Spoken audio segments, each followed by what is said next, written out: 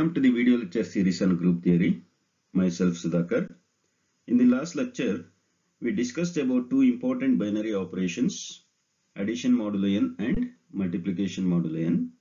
In this lecture, we shall solve few important problems on finite abelian group. Let us consider the first one. Show that the set G consisting the elements 1, 3, 7, 9 is a abelian group under multiplication modulo 10 or it may be given as show that the set G is a finite abelian group under multiplication modulo 10. So as usual whenever the problem is given understand carefully what is the given set and what is the binary operation one what is to be proved. So let us note that what is given the set G that is 1379 and the binary operation is multiplication modulo 10 and what is our aim our aim is to prove the given set is abelian group under multiplication modulo 10. You note that G is a finite set. So to prove the finite set is a abelian group, we use the method that is considering the composition table. So let us prove that. Write the given set.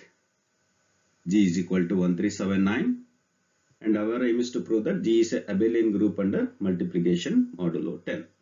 Now let us construct the composition table. So in this table the number of rows and columns depends on the number of elements in the set G. Now always write the binary operation in the first box. So what is the binary operation? Multiplication modulo 10.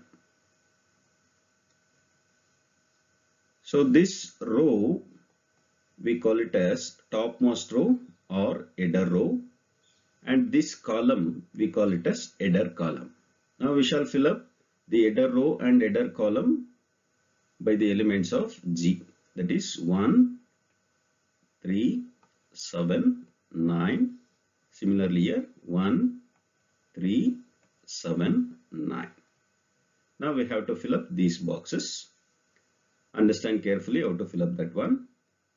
Now 1 into 1 is 1. 1 into 3, 3. 1 into 7, 7. 1 into 9, 9. Similarly, 3 into 1, 3. 3 into 3, 9. 3 into 7. 3 into 7 is 21 which is more than 10. If you get more than 10 or equal to 10 divide that number by 10 and write the remainder. 3 sevens are 21. We have to divide this number by 10. So 10 twos are 20. Remainder is 1. So we shall write 1 here. 3 nines are 27. So remainder is 7. Now 7 into 1 7. 7 into 3 21. So remainder is 1. 7 into 7 49 so remainder is 9 7 into 9 63 so remainder is 3 now the last one 9 into 1 9 9 into 3 27 remainder is 7 9 into 7 63 so remainder is 3 9 into 9 is 81 therefore remainder is 1 now observe carefully these boxes so what are the elements we got? So we have uh, 1379. So everywhere you are seeing 1379 which are the elements of G. No other element we got here. So now we shall write the closure. Now we shall consider the closure law. So we shall write like this. All the entries in the table are same as the elements of G.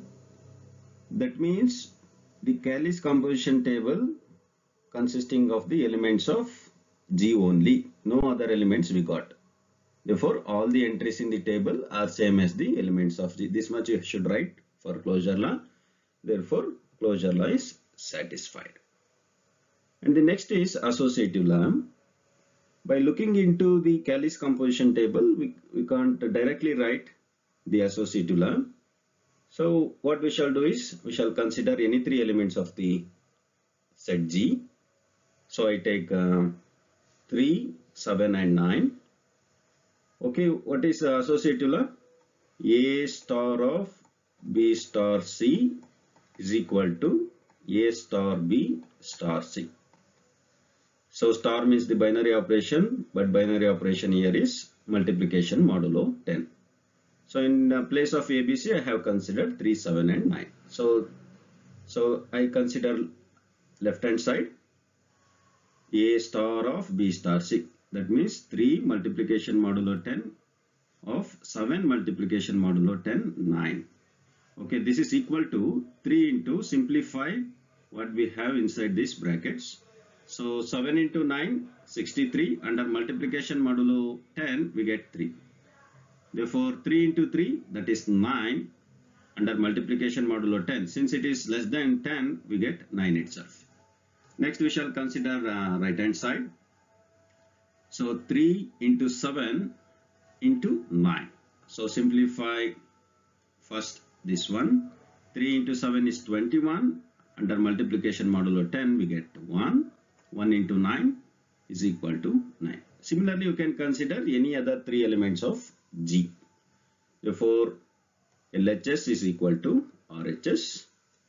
Therefore, we can write in general A multiplication modulo 10 of B multiplication modulo 10C is equal to A multiplication modulo 10B multiplication modulo 10C.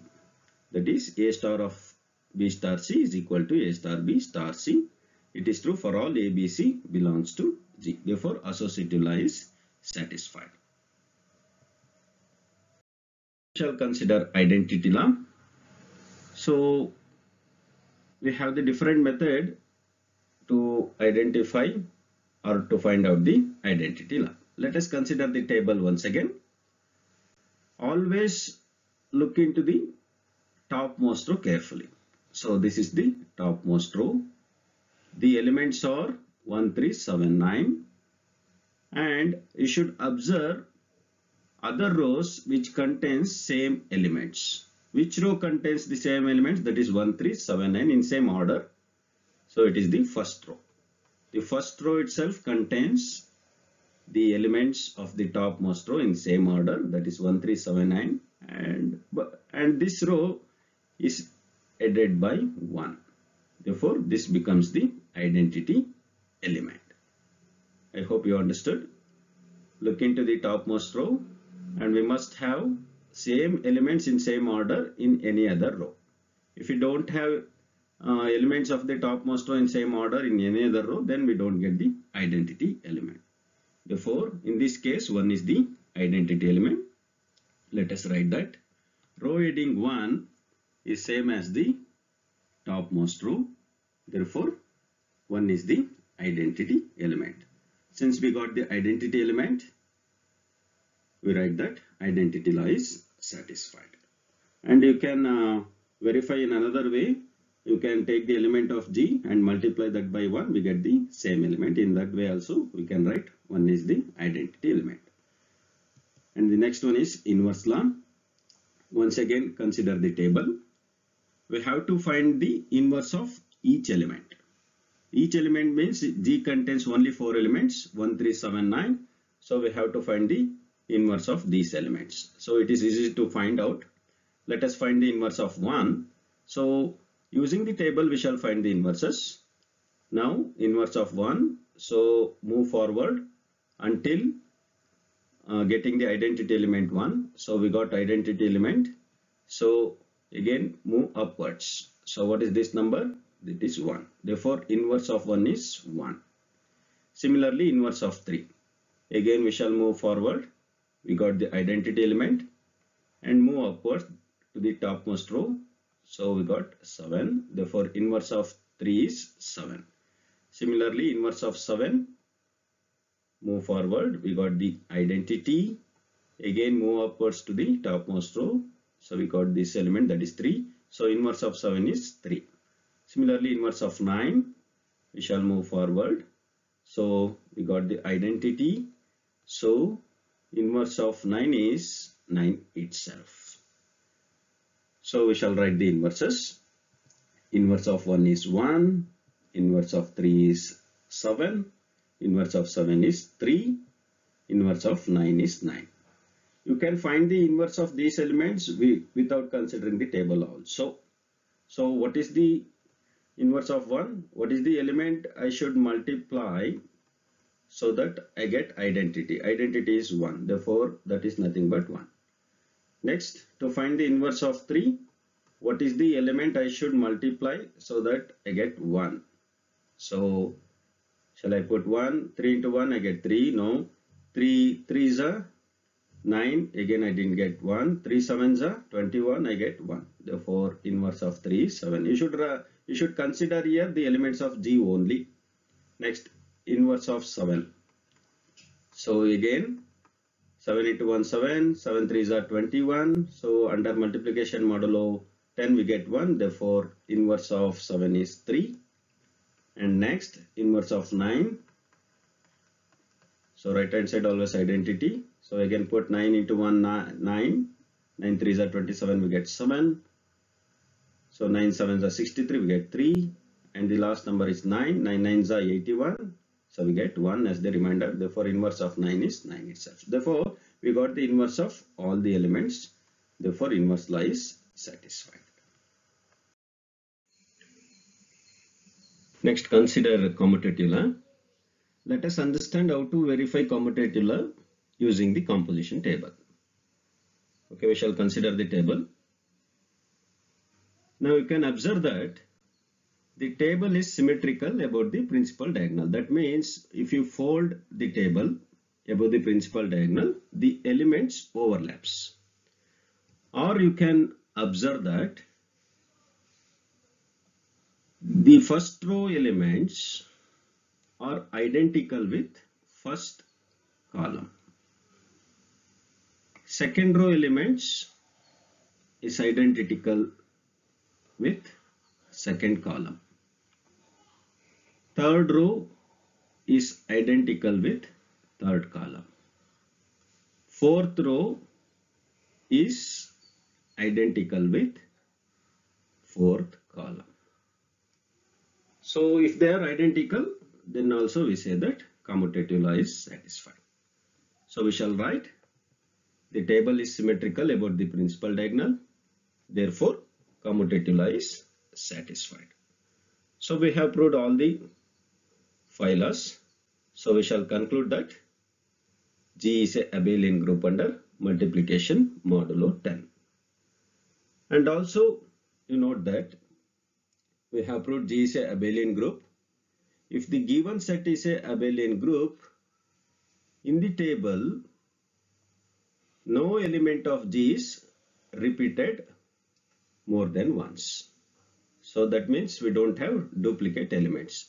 In each row you can observe that we don't have any element repeated more than once. Similarly in each column. So if the given set is a group, in the Cayley's composition table no element is repeated. So this is important point to note. Consider Another problem, prove that a group of order 3 is abelian. Prove that a group of order 3 is abelian. So what is given? This set. So they have not mentioned any letter G. Okay, we shall uh, write G. A group of order 3, that is the given set. And what is the binary operation? They have not given any binary operation. So we shall take in general as star and what is our aim? Our aim is to prove G is a abelian group under binary operation star. So we shall write let G star be a group of order 3. So what do you mean by order 3? That means G contains 3 elements. Which type of elements or what are the elements? Order 3 means it must contain 3 elements. So they are, since they have given G is a group a group of order 3. That means G is already a group. And our aim is to prove G is a abelian. G is a group means of order 3, it must have 3 elements. Among 3 elements, one element must be identity element, that is E. So other elements we shall take it as A and B.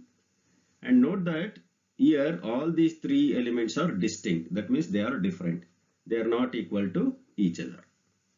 And uh, our aim is to prove that G star is a abelian group. Note that G is already a group. We have to prove G is a abelian group. That means only one law we have to verify that is commutative law. So it is enough to show that G satisfies commutative law. And in the previous problem we note that in the composition table no elements of G occur more than once in any row or in any column. That means we don't have any duplicate elements. Now consider the table. We shall fill up the table. So again uh, the first box that is left topmost corner is always we have to write the binary operation. The binary operation is star. Next the topmost row we shall uh, write the elements of G that is E, A, B. Similarly header column E, A, B. Now we shall fill up these empty boxes. So we know how to fill up. The first row E star E that is identity we get E. E star A is A. E star B is B. Similarly the first column we shall write A star E is A. B star E is B.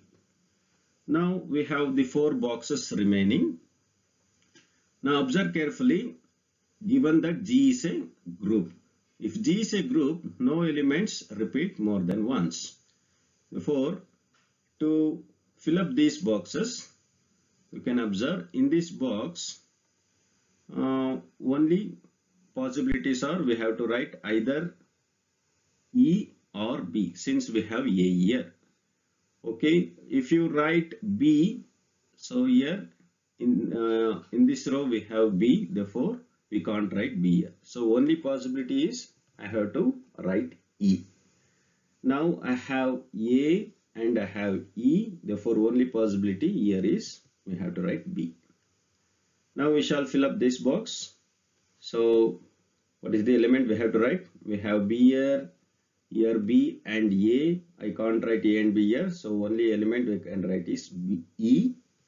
Similarly, we can fill up this by since I have B and E, here also B and E, only possibility is A.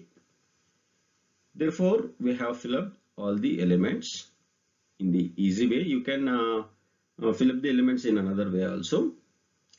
Now to prove commutative law, again we shall uh, observe that whether the table is symmetrical about the principal diagonal. So the table is symmetrical about the principal diagonal. That means if you fold the table on the principal diagonal the elements overlaps or you can uh, uh, use another method what we discussed in the first problem that is the first row elements are identical with first column and similarly second row and third row are identical with second and third column respectively. Therefore commutative law is satisfied. Therefore G is a abelian group under the binary operation star. Okay, I hope uh, you understood how to prove the given finite set is a group or abelian group using Cayley's composition table. Now try to solve these exercise problems. Thank you.